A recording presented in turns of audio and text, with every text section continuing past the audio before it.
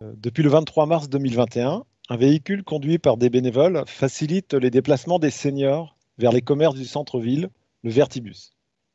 Dans votre programme électoral, une de vos propositions était, je cite, lutter contre l'isolement avec la mise en place des transports solidaires. Nous vous rejoignons sur ce sujet car Vertus proposait aussi dans son programme la mise en place d'un minibus pour améliorer la desserte des villages.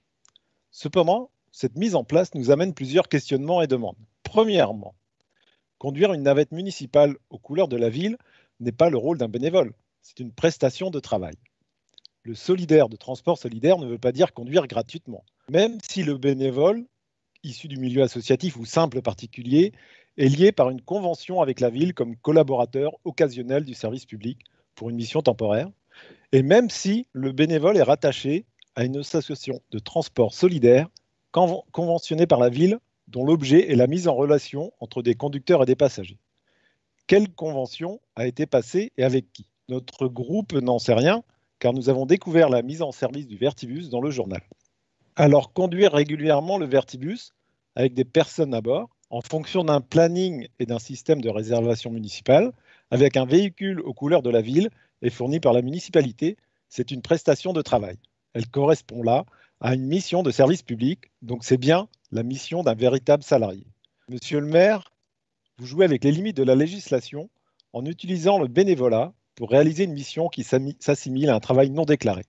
Souvenez-vous, le poste de conducteur de l'ancien minibus de la commune était bien tenu par un agent de la ville. Pourquoi pas aujourd'hui?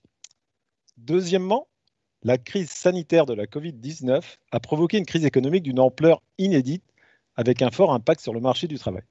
Plus de 360 000 emplois détruits en 2020 en France. La précarité, la fragilité, la vulnérabilité sociale ont été accentuées chez les demandeurs d'emploi, chez les jeunes étudiants et étudiantes, dans les familles, chez les travailleurs pauvres avec moins de rentrées d'argent et plus de dépenses.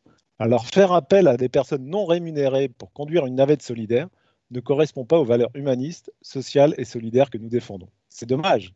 La ville de Vertou aurait eu ici une autre occasion de participer à la relation, à la relance économique en soutenant l'emploi sur notre commune. Troisièmement, proposer un transport solidaire seulement aux personnes âgées de plus de 65 ans nous paraît discriminant. ce ne sont pas seulement les seniors de Vertou qui subissent l'isolement et la précarité. N'oublions pas les personnes seniors de moins de 65 ans, celles à mobilité réduite ou en situation de handicap, les jeunes sans moyens de locomotion, par exemple. Ce n'est pas cette vision de la solidarité que souhaite le groupe Vertus. Alors, monsieur le maire, oui pour une navette solidaire, mais accessible à toutes les personnes qui souffrent d'isolement et de précarité, et avec la création d'un emploi rémunéré.